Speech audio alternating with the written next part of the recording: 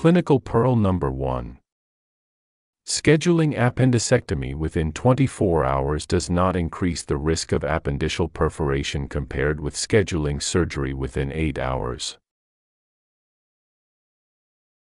There is no international consensus exists on the surgical urgency for acute uncomplicated appendicitis. For acute uncomplicated appendicitis, scheduling appendicectomy within 24 hours does not increase the risk of appendiceal perforation compared with scheduling surgery within 8 hours.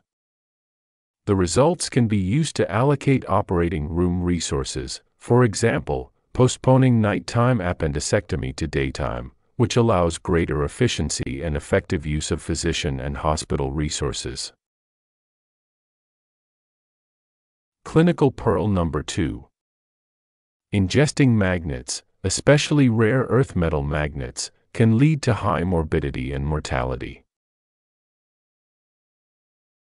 The plain films show nine intra-abdominal small magnetic balls aligned in a row, associated with partial small bowel obstruction and developing ileus.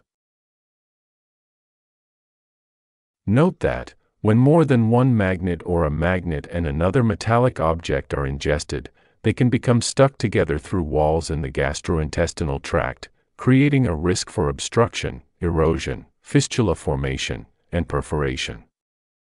Newer magnets containing boron, iron, and neodymium are 5 to 10 times stronger than plain iron magnets. Symptoms of magnet ingestion may manifest days after ingestion. Higher risk features of magnet ingestion include ingestion of a magnet and a sharp metallic object, higher number of magnets ingested, a longer interval over which the magnets were ingested, multiple magnets in the esophagus, which raises concern for concomitant aspiration.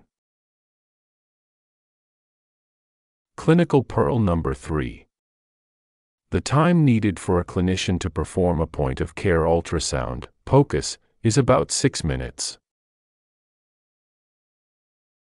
POCUS has been shown to change medical management and decrease time to diagnosis. A recent study reviewed 2,144 studies and found a median time of 6 minutes to perform a bedside ultrasound. The study measured only the duration of time from starting the exam through the ultrasound work list to the timestamp on the last recorded image. Clinical Pearl Number 4 There is no evidence of an effect of hypertonic saline compared with mannitol on long-term neurological outcome. A systematic review and meta-analysis in 2023 showed that there is no evidence of an effect of hypertonic saline compared with other agents, mainly mannitol, on long-term neurological outcome. There is no evidence of a beneficial effect of hypertonic saline on all-cause mortality, uncontrolled ICP, length of hospital or ICU stay, and ICP reduction. Hypertonic saline may be associated with an increased risk of hypernatremia. There is no class 1 evidence showing superiority of one agent over another in the management of cerebral edema and intracranial hypertension from different causes. Clinical Pearl Number 5 Patients with mandible fractures are unable to perform the tongue blade test and are indicated for imaging study such as CT scan. If you can successfully break the tongue depressor in a tongue blade test, it would be reasonable to forego imaging. The tongue blade test is conducted by asking the patient to bite down on a tongue depressor on one side. The clinician then twists the tongue depressor and attempts to break it. If the clinician is unable to break the tongue depressor, the test is positive. If the clinician is able to break the tongue depressor, the test is negative. Clinical Pearl Number 6 Patients with HIV infection are at a higher risk for acute coronary syndrome even in the absence of other risk factors. HIV is thought to accelerate atherosclerosis via multiple mechanisms including chronic inflammation, hypercoagulability, and endothelial dysfunction secondary to the virus.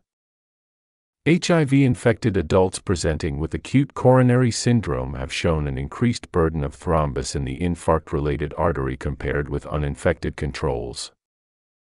HIV infected persons presenting with a first episode of acute coronary syndrome are, on average, a decade younger than uninfected persons. Even patients on highly active antiretroviral therapy with undetectable viral loads are at a higher risk for acute coronary syndrome than non infected patients. Clinical Pearl Number 7 A universal load and go strategy may not meet the needs of all patients in traumatic arrest. Priorities of pre hospital trauma resuscitation include hemorrhage control, airway management, and blood product resuscitation.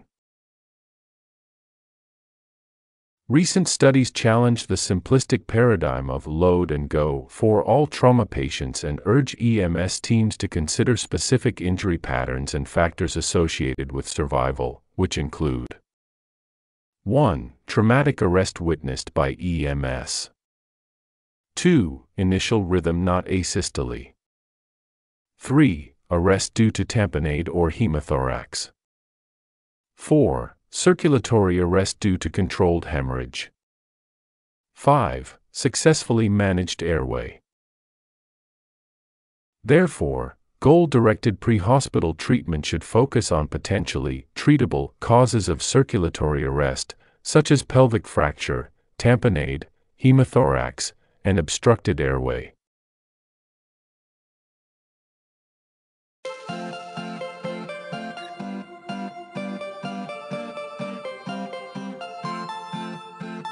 Thank you for watching. Please subscribe to our channel by clicking the subscription button. If you have any questions, feel free to leave a comment below in the comments section.